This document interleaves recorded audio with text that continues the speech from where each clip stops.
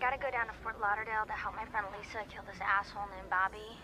But if you want, I can come pick you up. Hmm.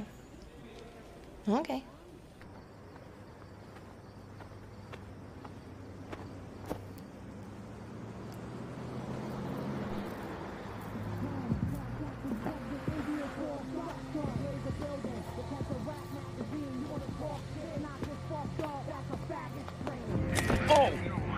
Boss, man.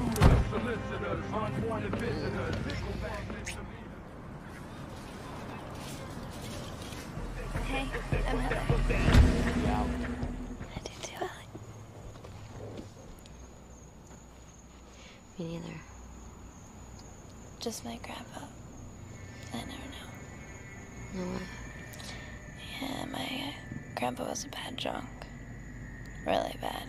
I mean, he'd, he'd rape anyone dumb enough to walk by his room, and one night he got um, really pissed at my grandma and he took a claw hammer to her face.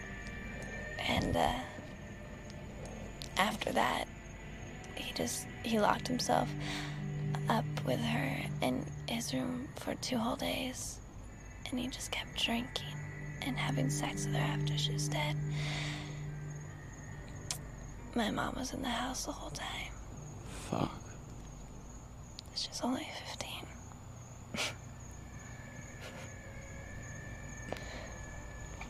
Holy shit. You know, it really messed with her head.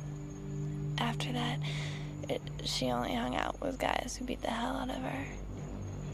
And then when I was little, she'd get drunk and she'd drag me and my brother out of bed at like four in the morning and she had all the news clippings and about my grandpa and the trial transcripts and she'd read them over and over again.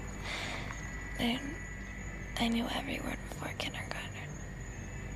I think that's how I learned to